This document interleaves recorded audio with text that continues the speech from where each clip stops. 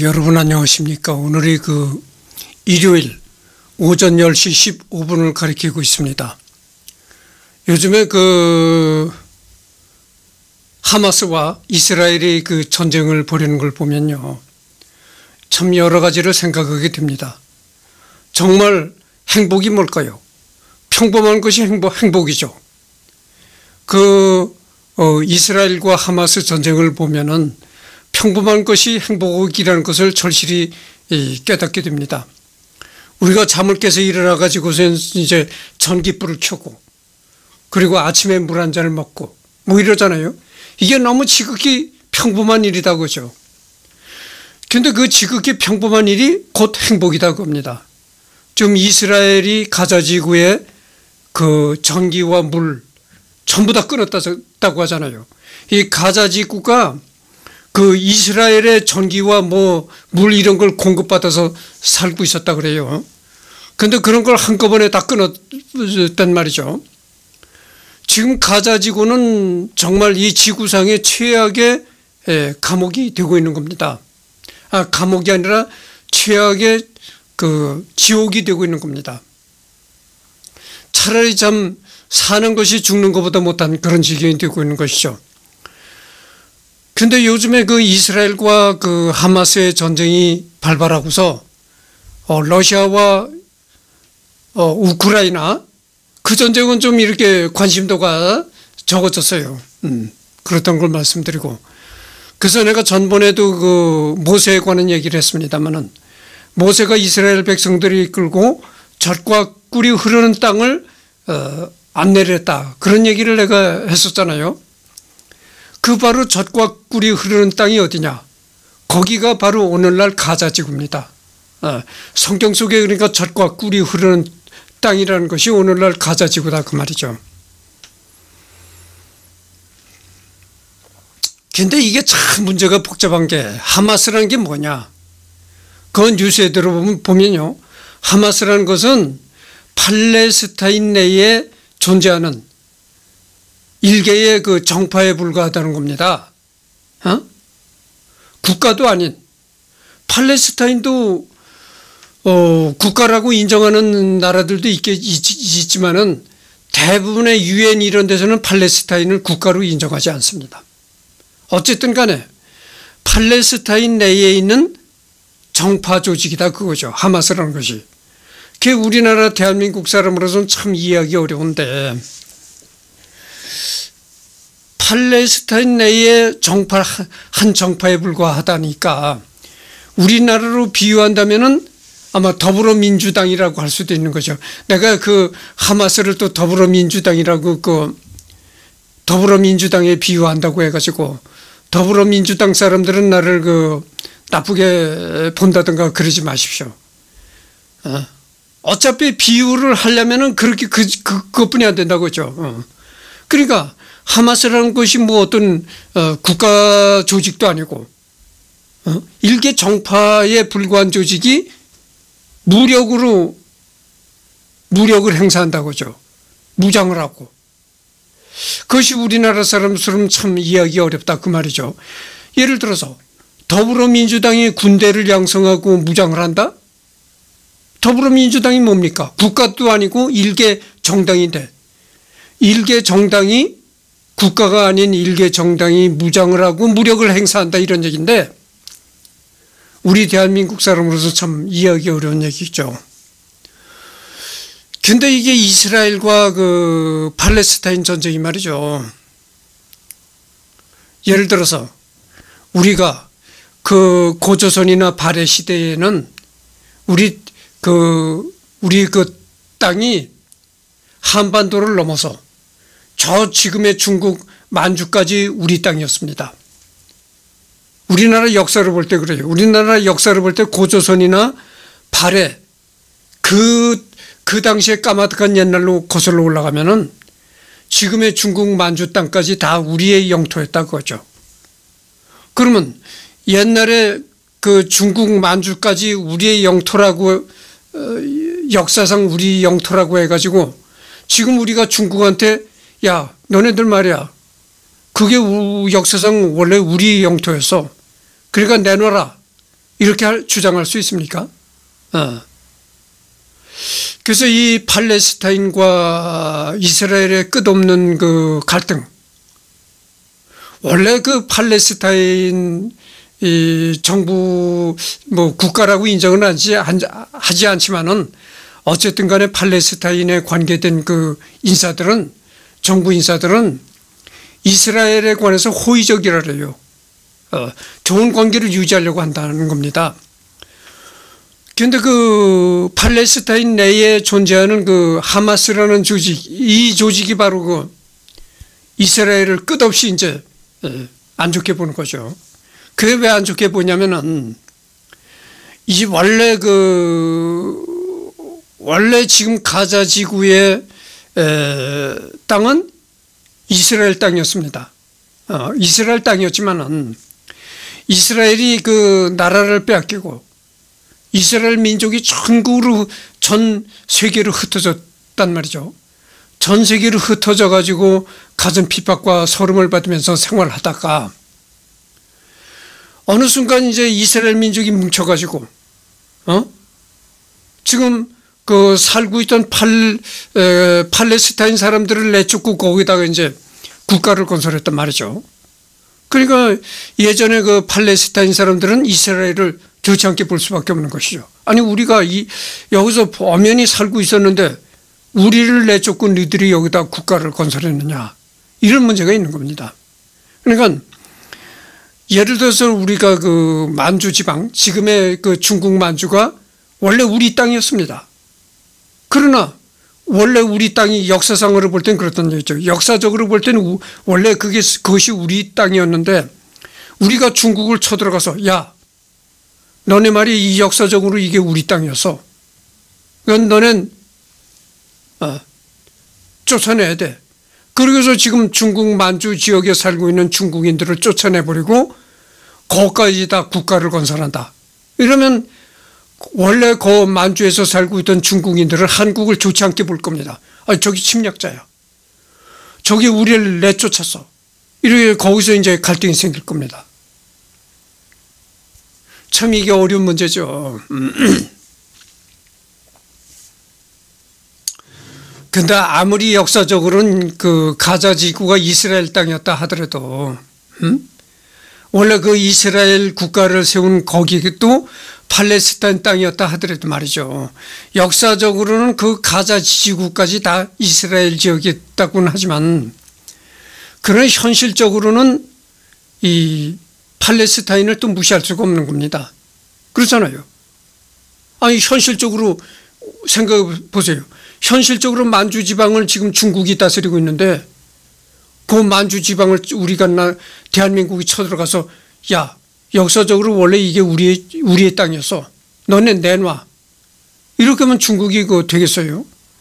현실적으로는 그게 안 되는 거죠. 그러니까 역사적으로는 그게 이스라엘 땅이었지만, 음? 현실을 또 무시할 수 없다는 얘기죠. 그래서 이 이번에 하마스가 이스라엘에다 대고 이제 어, 먼저 공격을 했잖아요. 그래가지고 전쟁이 발발한 건데 하마스는 그래서 이스라엘을 끝내 끝, 끝, 끝까지 좋지 않게 본다는 겁니다. 원래 우리가 살고 있던 지역인데 이스라엘이 저기 와가지고 우리가 살고 있던 곳을 내쫓고 가자지구를 내쫓고 지들이 국가를 건설했다. 뭐 이런 문제가 있어가지고 참 이 중동 지역의 정세가 참 복잡미묘합니다. 중동이 뭐 세계 화약고라고 하잖아요. 그래 중동 정세가 그렇게 복잡미묘하기 때문에 언제든지 3차 대전이 중동에서 어, 생겨날 수가 있다. 이런 문제가 있는 거죠.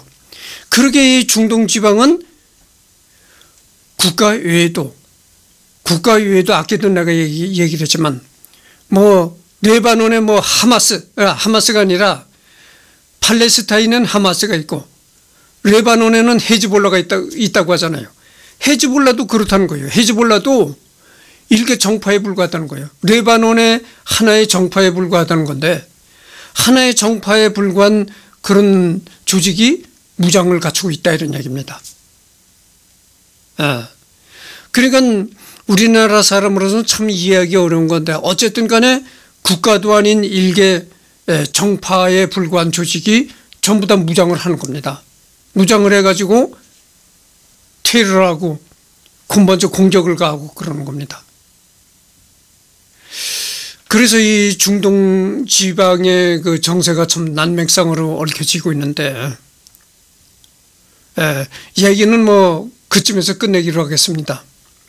계속 얘기를 하다 보면은 어, 본격적인 얘기를 못 하게 돼요. 그래서 그 어, 전번엔 바로 누굴 했나 오세창님을 했었고 어 했었는데 하여튼 이번엔 그 어, 오세창님을 끝내고서는 이제 길제 예, 고려와 조선 시대의 시인이었던 길제 얘기를 했습니다. 근데 이번에는 그 장보고 해상왕 장보고에 관한 얘기를 에, 하도록 하겠습니다. 여러분 그 장보고란 얘기를 주변에서 많이 들어보셨을 것입니다. 그 우리나라 해군이 해군이 보유하고 있는 함정 중에 에, 안창호 안창호라는 그 함정이 있고 또 장보고라고 이름을 붙인 함정이 있습니다. 바로 이 그 해군이 보유하고 있는 장보고함이라는 것이 바로 이 장보고의 이름을 따가지고 붙인 겁니다. 그리고 안창호함이라는 것은 바로 독립운동가 안창호의 이름을 따서 붙인 거죠. 어, 그렇다는 걸 말씀드립니다. 그래서 한국 해군이 보유하고 있는 함정에 장보고라는 이름을 붙일 정도니까 이 장보고라는 사람이 얼마나 대단했는가를 짐작할 수가 있는 겁니다. 그래서 장보고라고 하면은 흔히 그 해상왕이라고 부르죠. 해상왕. 어, 그렇습니다. 거기서 이제 그 여러분들 바다가 참 무섭습니다. 나는 그 제주도 내가 뭐 방랑 인생이라고 해가지고 전국 각 지역을 거의 다 돌아다녀 봤는데 제주도는 그렇게 바다가 무섭다는 생각을 안 했어요. 내가 제주도 갔을 때는. 근데 바다가 무섭다는 걸 내가 언제 생각을 했냐면은 울릉도. 울릉도를 갔을 때 내가 바다가 무섭다는 생각을 했습니다. 울릉도 앞바다는요, 이 동해바다가 특히 그렇잖아요. 여러분들 그 동해바다는 아주 물이 투명합니다. 이 얕은 바다는 말이죠. 얕은, 수심이 얕은 바다는 이렇게 들여다보면은 이 물고기가 막 이렇게 돌아다니는 게 보입니다. 그 정도로 아주 물이 이 울릉도에 있는 그 동해바다 물이 그 정도로 아주 청정합니다. 근데 서해바다는 그렇지 않잖아요. 서해바다는 물이 탁 하잖아요. 예.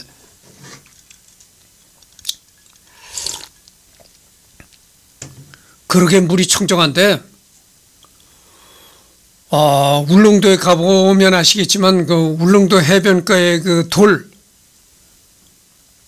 그 돌들에 돌들에 이렇게 있는 그 바닷물, 아 무섭습니다. 들여다보면 그 시퍼런 게 바다가 무섭다는 걸 내가 그 울릉도에 가서 느끼, 느꼈습니다. 제주도에서는 내가 바다가 무섭다는 걸 뭐 안 느꼈는데 울릉도에 가서 내가 바다가 무섭다는 걸 느꼈어요. 어. 바다가 무섭습니다. 근데 에, 그때 내가 배를 타고 왔었는데 강릉에서 강릉에서 울릉, 울릉도까지 운행을 하는 그 배를 타고 갔었거든요. 근데 이제 여러분들 뉴스를 통해서 잘 아시겠지만은 울릉도와 이 김포 서울 김포공항인가 하여튼 거기서 울릉도까지 직통하는 그 어, 비행기가 운행을 합니다 앞으로는 그래서 앞으로는 그 울릉도까지 가는 비행기가 운행을 하게 되면은 비행기를 타고 울릉도를 또 다시 한번 가려고 합니다. 그게 가려고 하는 게 그게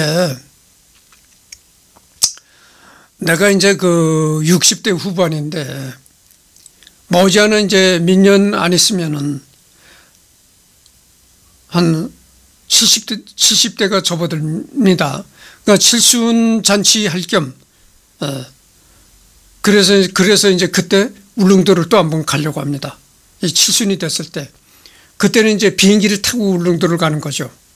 그래서 이 바다가 무섭다는 걸 내가 얘기, 왜 얘기를 꺼내는 거 아니. 오늘날 현대인은 엄청난 그 출력을 가진 엔진이, 엄청난 힘을 가진 엔진이 예, 아주 빠르게 배를 밀어가는, 미는 거죠. 최속선이죠. 최속선.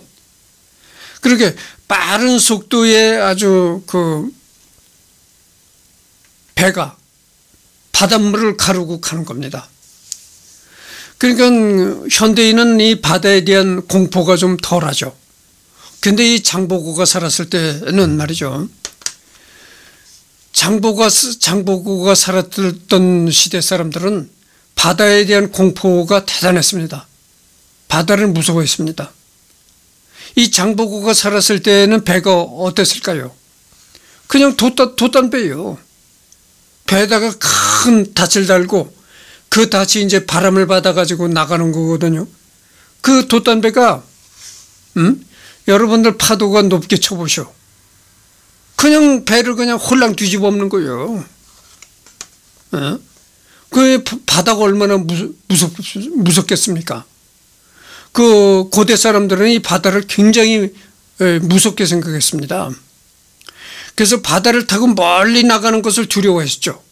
이건 동양이나 서양이나 똑같은데 서양에서도 이 바다를 굉장히 무서워했습니다. 옛날엔. 지금 우리 현대 사람들은 이 지구가 둥글다는 걸 알잖아요. 어? 지구가 둥글다는 걸 다 알고 있고 한두 살 머린 먹은 어린애들 알고 알고 있죠.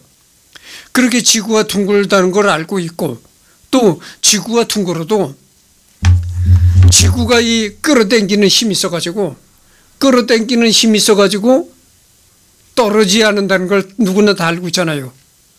여러분들 생각해 보십시오.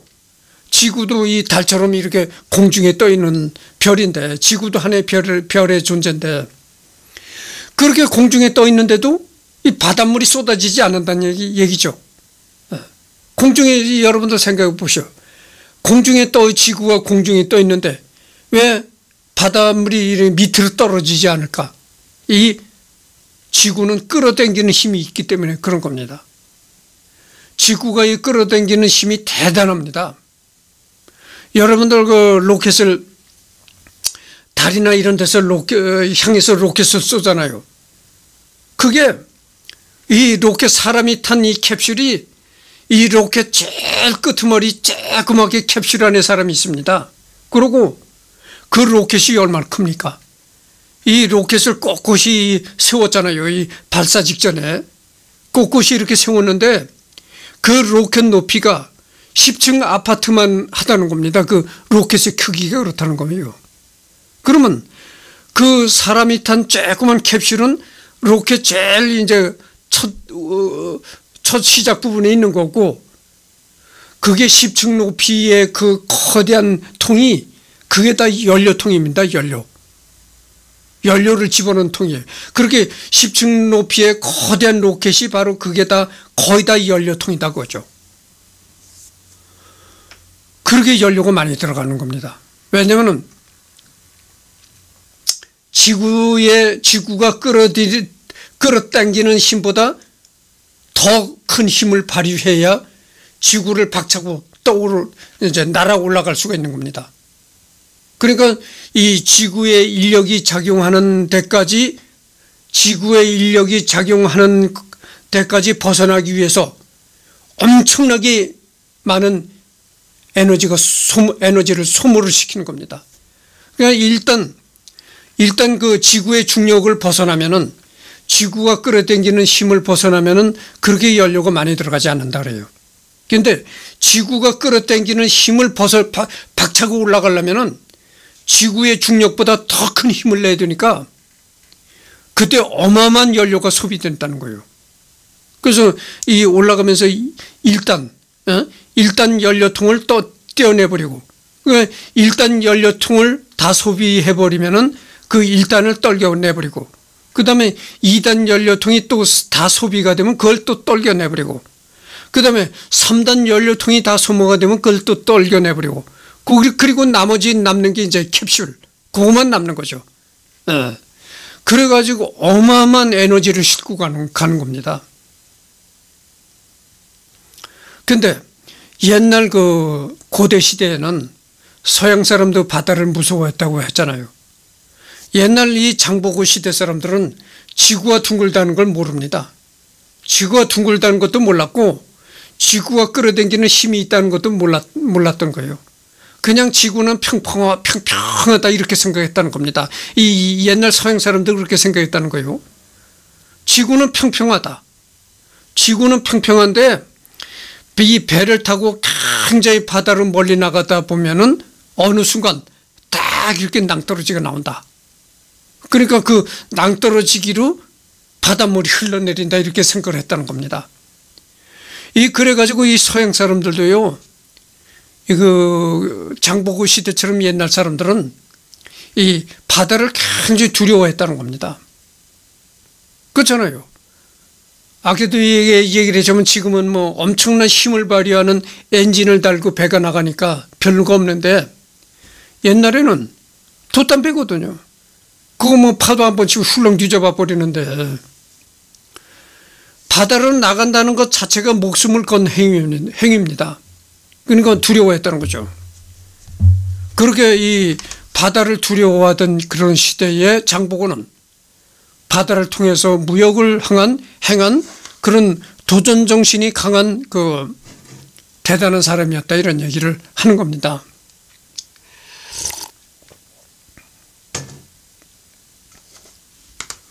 내가 그 올해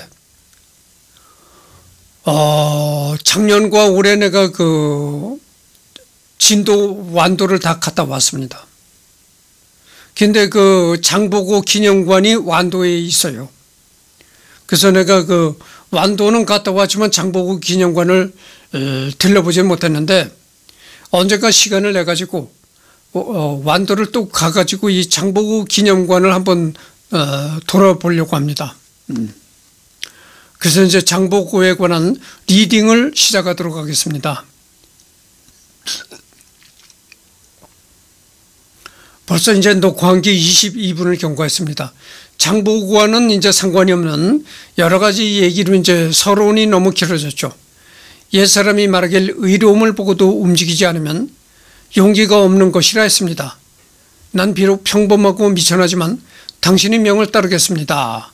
이 신무왕이 부탁을 받은 장보고의 장보고가 이런 말을 했다 이런 얘기죠. 이후 그는 조정에 강한 영향력을 휘두른다. 해양 상업지구의 무역군주 에드윈 라이샤워 하버드 엔진 연구소장 이런 얘기입니다. 신라 제35대 상대동 때의 장보고입니다. 신라 시대의 장보고. 신라 시대에 그 바다 무역을 했던 해상 무역을 했던 장보고의 이제 에, 그림입니다. 아, 그래서 이거는 말이죠. 장보고가 이렇게 생겼다는 건데 내가 언젠가도 이 얘기를 했지만 이 장보고가 살았을 때에는 이 실물과 똑같이 그리는 이 초성화 기술이 없었으리라고 생각을 해요. 그래서 이거는 장보고가 이렇게 생겼다기보다는 하나의 상상도죠. 어, 여기 보십시오. 1979년 어, 일랑 이종상 화백이 그린 표준 영정이다. 그 상상화죠. 여기도 나왔잖아요. 상상화다라고. 그 실제 장보고가 어떻게 생겼는지는 아무도 알 수가 없는 거죠. 음. 그때 당시 뭐, 어? 그러니까. 하여튼 출생은 780년대 후반 추정. 출생은 정확히 그 언제 출생했는지는 모릅니다. 근데 한 서기 780년경에 출생했을 것으로 그렇게 추정한다는 거죠. 어, 신라에서 어, 출생했다.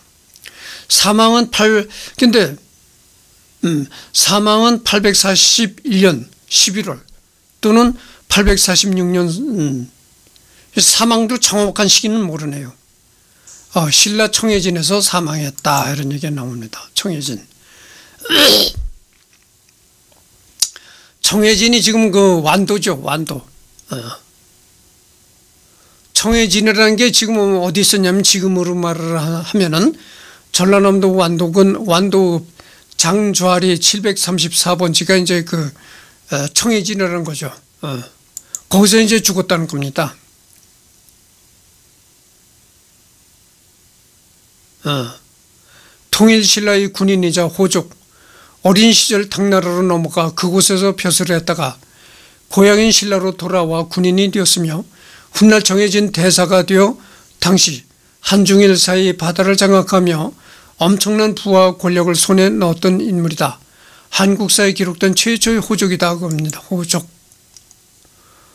어, 호족이라는 것은 그, 그, 통일신라 말에서, 통일신라 말기에서 고려 건국 때까지 역사 전면에 등장했다. 그러니까 지금으로 말을 하면 이게 호족이라는 게, 어, 지방 유지다. 그러니까 어느 정도 먹고 살 만한 재력도 갖췄고, 그, 그 집, 그 지역에서는, 어, 어 이렇게 말빨이 세다 이런 우리가 속된 말로 그러잖아요. 말빨이 세다. 그 사람이 한마디 하면 그 지역 주민들이 따른다. 이럴 정도로 어, 말의 영향력이 대단하고 어, 재산도 먹고 살 만큼 갖췄고 이런 걸 갖다 유지라고 하잖아요. 어. 그 유지란 얘기죠. 지금으로 말하면. 아, 그래서 이제 한중일, 한국과 중국, 일본의 바다를 어, 돌아다니며 엄청난 부와 권력을 손에 넣었던 인물이다. 이런 얘기입니다. 장보고가 활동하던 당시 그의 힘과 유세는 실로 막강하였다. 출신도 알려져 있지 않을 정도로 미천했고 지방 호족에 불과했지만 중국, 일본 통일신라 중앙의 왕실에까지 그 영향력이 미칠 정도였으며 시대의 영웅이라 부를 만한 행보를 보였다. 해상왕이라고 불리는데 이는 당시 신라인들이 아니라 현대 한국인들이 붙인 이름이지만 한때 동아시아 해상에서 장보고가 지녔던 영향력을 생각하면 과장이 아니라 할 수 있다. 그래서 해상왕이라는 그 별명을 붙인 것은 신라 사람들이 이렇게 장보고를 보고 해상왕이라고 별명을 붙인 것이 아니라 지금 이렇게 대한민국 현대인들이 이 장보고를 해상왕이라고 별명을 붙였다는 겁니다. 그런데 그 해상왕이라고 붙인 별명이 굉장히 타당하다는 별명이라는 거죠.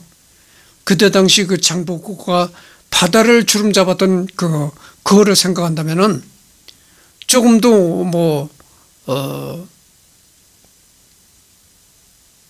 그 해상왕이란 그 별, 별명이 조금도 뭐, 어, 손색이 없는 그런 별명이라고 할 수가 있다. 그런 얘기입니다. 바다에서 활동하며 크게 이름을 떨쳤고 동시에 국제적인 인물이기도 해서 현대 대한민국 해군에서도 좋아하고 밀어주는 유인이다. 해군에서는 주로 대사라 칭한다. 근데 그 그랬잖아요. 우리나라 해군에 그 장보고함이라는 게 있다 이런 얘기를 했습니다. 그래서 장보고의 이름을 그 배에다 붙인 겁니다. 그래서 장보고함인 것이요.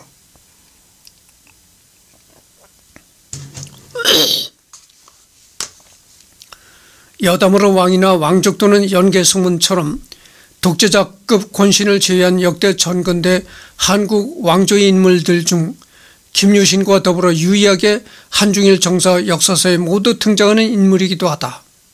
이 장보고는 어, 한국과 중국, 일본 역사에 모두 장보고라는 인물이 적혀 있다는 겁니다. 역사서에.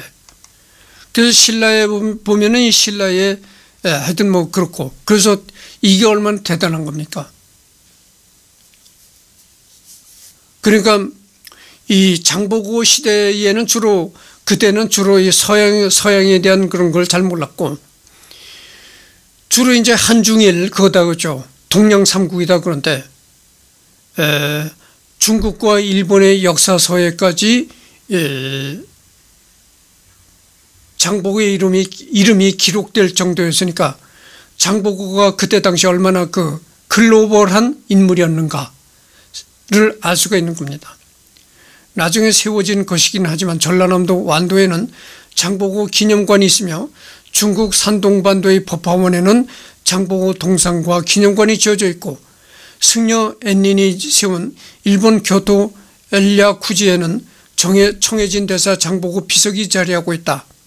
한중일 삼국 모두 기념하는 한국인은 한국 역사 이래 장보고가 거의 유일하다 이런 얘기입니다.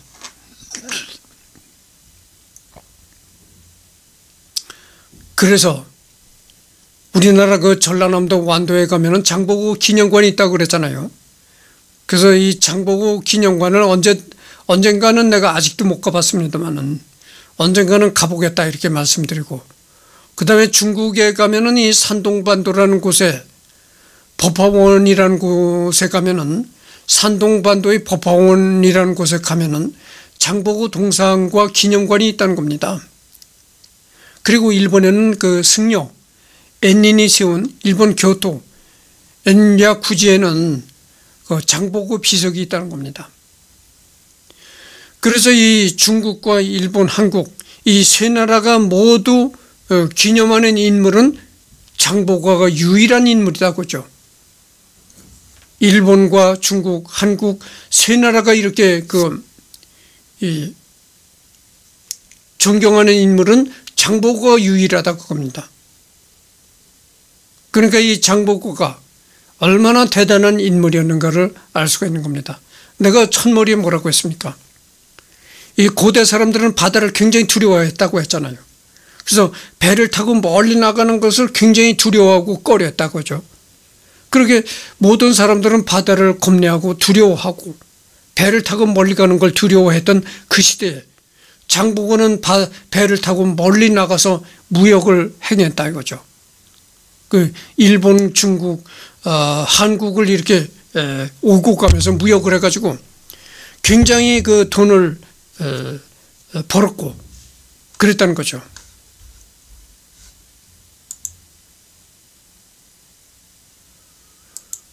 어, 그래서 봅시다. 윤영기와 당장교 시절 본명은 이두로 어, 공복 또는 궁파로 표기되어 있는데 한국 고유어식으로 읽으면 활보가 된다. 여기서 보는 몇몇 명사 뒤에 붙어 그것을 특성으로 지닌 사람의 뜻을 더하는 전미사로 현대, 현대어에도 남아있어서 꾀보, 먹보, 잠보 등의 어휘가 있다. 예시다. 기록에서 기굴이 장대하였으며 활과 창을 잘 두르는 무인 기질을 나타냈다라는 기록이 있는 것을 보면 장보고가 활을 잘 다루었던 것을 유추해 볼 수 있다 이런 얘기입니다.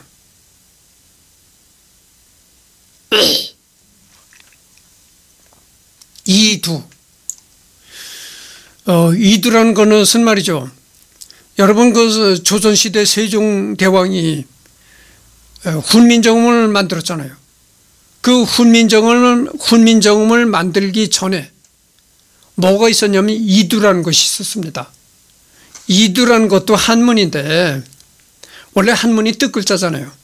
근데 이렇게 뜻을 예, 뜻을 인용해서 쓰는 것이 아니라 소리를 인용해서 쓰는 겁니다. 음, 그걸 이두라고 하는 거예요. 그러니까 한문을 뜻 글자가 아닌 소리 글자 용도로 이용했던 게 바로 이두다 그 말이죠. 그 이두에는 이두에는 궁복이라고 돼 있다는 겁니다. 이 장복과 궁복, 궁파. 그 지금 현대 우리 한글로 해석을 한다면은 활복, 어, 활복, 어, 이런 얘기가 된다 하는 거죠. 그러니까 활에 활을 사용해서 뭐 복을 받는다고 할까?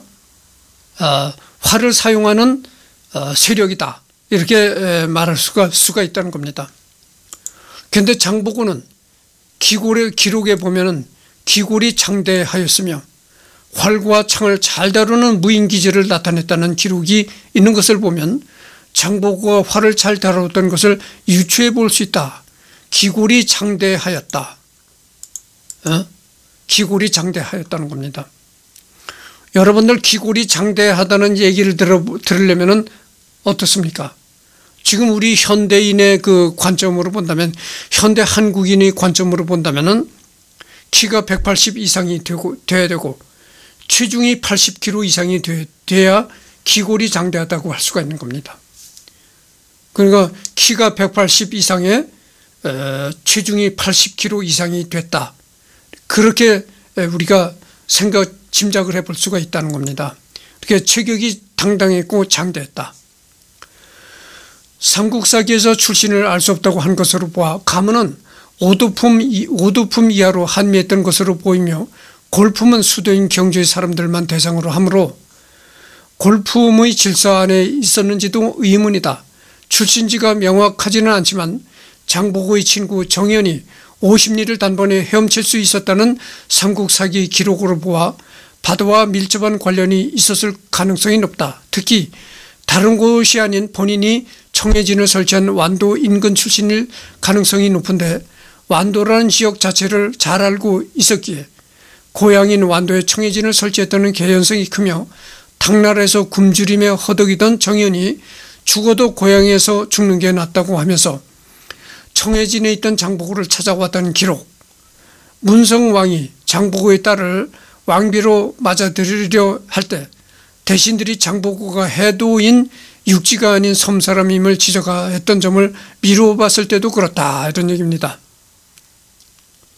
그래서 이제 그 문성왕 아, 문성왕은 신라 시대의 왕입니다.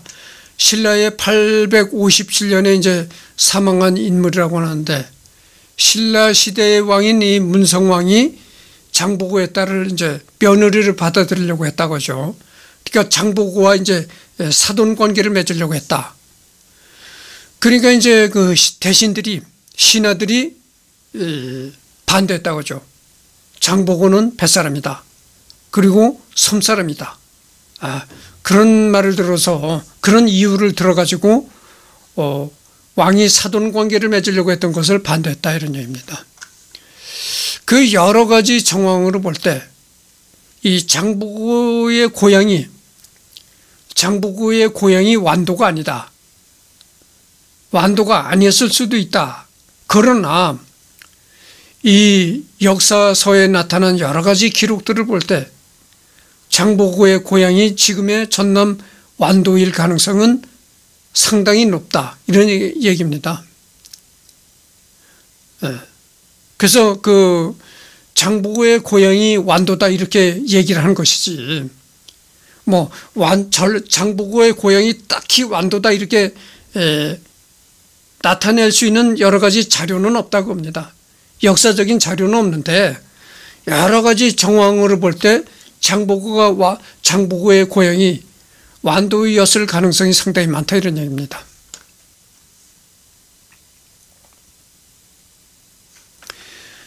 일찍 동료이자 의형제인 정현과 함께 당나라로 건너가 그곳의 군에 입대했다고 한다.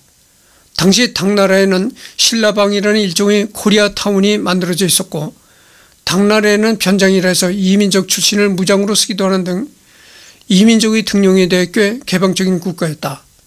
당나라에서 친구 정현과 함께 당나라 군대에 들어간 장보고는 말 타고 창 쓰는 데 탁월한 실력을 보였으며 곧 서주 무령군의 소장으로 출세하기까지 한다. 무령군은 산동반도에 할거하며 당에 맞섰던 고려 유민 출신 절도사 이사두를 정벌, 정벌하려고 해 만들어진 부대였는데 장보고는 무령군 소장 신분으로 평로 치정 번진 진압에 참전했다고 전한다. 그러니까 장보고가 젊었을 때 당나라의 그 음, 군에 입대했었다 이런 얘기고 당나라 군에 입대해가지고 어, 소장으로까지 그 출세했다 이런 얘기입니다. 모종의 일로 당군 시절을 그만두고 신라로 돌아왔을 돌아왔는데 장보고가 귀국을 선택한 이유로 몇 가지 추측이 있다. 장보고가 당에서 귀국의 흥덕왕을 만나 신라인이 당에서 어, 해적들에게 잡혀 노비로 매매되고 있었다고 문제를 제기했고 장보고가 설치한 청해진의 이름을 감안하면 같은 신라인들이 노비로 팔려가는데 차마 혼자 호의호식할 수 없어서가 일차적인 이유였다고 할 수 있을 것이다.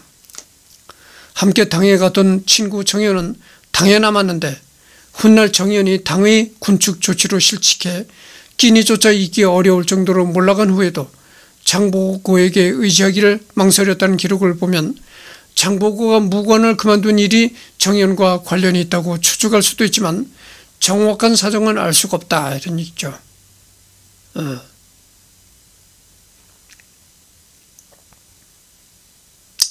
그 장보고하고 이 정연이란 사람이 이 친한 친구였다고 하죠. 그래서 이제 장보고는 일지, 일찌감치 이제 그 당나라 군대 생활을 그만뒀는데 정연은 오랫동안 당나라 군대 생활하다가 이제 그 어느 날 갑자기 당나라 군대를 그만두게 돼서 당나라 군대를 그만두니까 뭐 그 예전에 그렇게 가난하던 시대에 끼니조차 있기가 어려웠다고 하는 거죠. 정연이라는 사람이. 그러나 어, 끼니조차 있기가 어려울 정도였지만 장보고한테 도와달라는 얘기는 일절하지 않았다. 아, 이런 얘기입니다. 그를 보면은 그 장보고와 정연이 한때는 둘도 없는 친구였지만은 훗날 사이가 틀어졌던 것이 아닌가 이런 짐작도 해볼 수가 있다는 겁니다. 이 시기 장보고에 대한 기록이 부족해 자세한 행적은 알기 힘드나 엔닌의 기록을 볼 때 신라방 신라인 사회를 이용해 상업에 뛰어들어 국제 무역업에 종사했고 당나라에서 어느 정도 성공, 성공을 거둔 것으로 보인다. 당시 중국 해안 지역은 이사도와 같은 변진들이 바로로 당나라 조정에서 통제하지 못하고 있었기 때문에 신라인들까지 잡아다 노비로 팔아먹는 해적이 들끓고 있었다. 어, 기록대로 단순히 이들이 동족인 신라인을 노비로 팔아넘기는 것을 볼 수 없어서라는 도의적인 이유가 아니어도 장복으로서는 해적 때문에 바다를 통해 오가던 해상 교역까지 위협을 받게 되면 장사에도 차질이 생긴다는 상인으로서의 실제적인 계산 때문이기도 했다. 이후에 장보고는 귀국했는데 805년 전후에 당나라로 넘어가 828년에 귀국했으니 20 내지 30년 만의 일이었다.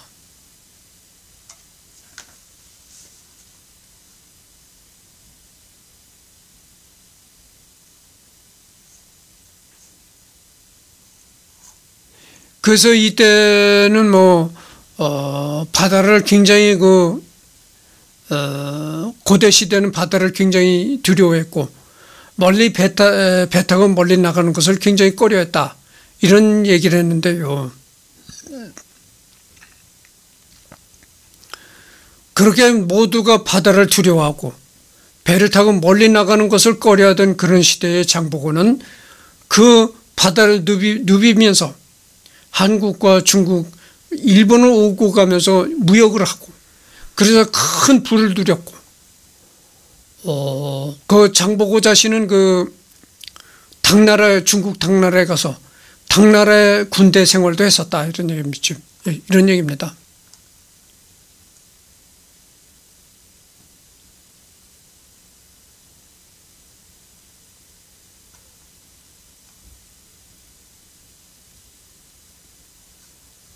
그래서 이제 그 장보가 기병이었기 때문에 당시 서남해안 지역 섬에 목장을 운영하던 신라, 신라 귀족의 생활과 연관시켜 목동 출신으로 보인다고 전쟁사 교양서적을 열어낸 서영교는 단정하듯이 썼는데 통일신라에서 지금이 전남 경남에 이르는 남해안 여러 섬에 목장을 다소 운영하는 것은 맞지만 섬 출신이라는 이유로 어, 목동 출신일 거라고 확신할 수 있을 만큼 증거가 있는 것은 아니다. 한편 전라북도 부안군 변산반도가 장복의 고향이라는 주장도 있다.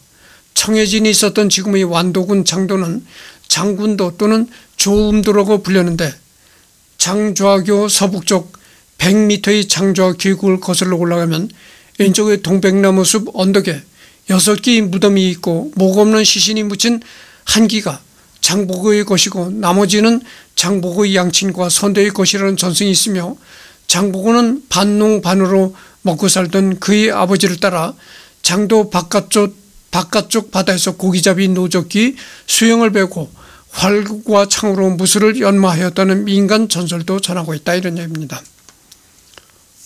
그래서 그 장보고의 고향이 그 완도 청해진이라고는 하는데 그것도 정확히는 알 수가 없다고 하죠. 그래서 그 장보고의 고향이 그 완도가 아니고 어, 부안군, 부안군 변산반도, 변산반도가 그 장보고의 고향이라는 그런 설도 있다고 합니다. 음.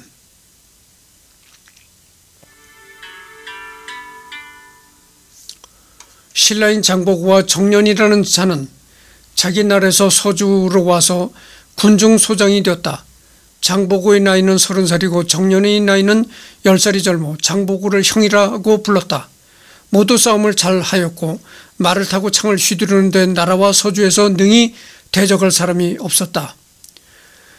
정년은 또 바다 밑으로 들어가 50리를 걸어가면서 물을 내뿜지 아니하였다. 그 용맹과 식시감을 비교하면 장보고가 정년에게 미치지 못하였으나 장보고는 연령으로 정년은 기회로서 항상 맞서 서로 지지 않았다 이런 얘기입니다. 그 장보고의 친구 정년이라는 사람도 그 아주 그 씩씩하고 용감했다 이런 얘기죠. 어. 이런 얘기가 이제 변천문집이라는 책에 예, 기록이 되어 있다 이런 얘기입니다. 일찍 동료이자 의형제인 정연과 함께 당나라를 건너가 그곳에 그 예, 이건 했던 부분인데요. 예, 했던 부분입니다. 그리고 그 어, 전북 완도에 말이죠. 전북 완도의 장군도 조음도라는 그런 곳이 있는데 장좌교 서북쪽 100m의 장좌 계곡을 거슬러 올라가면 왼쪽으로 동백나무 숲 언덕에 여섯 개의 무덤이 있다는 겁니다. 그 여섯 개의 무덤 중한 기가 목 없는 시신이 있다는 겁니다. 목이 없는 시신이 묻힌 곳이라는 겁니다. 그래서 그 목 없는 시신이 곧 이, 이것이 그 장보고의 시신이 아니겠는가 이렇게 예, 생각을 한다는 거죠.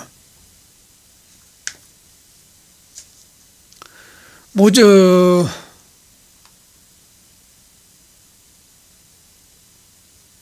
어, 신라로 귀국 청해진 대사가 되어 동북아의 해상 패권을 장악하다 이것은 그 다음 시간에 예, 계속 하겠습니다. 지금 녹화를 시작한 지가 47분을 경과했습니다. 그래서 이거는 그 다음 시간에 예, 또 하도록 하겠습니다.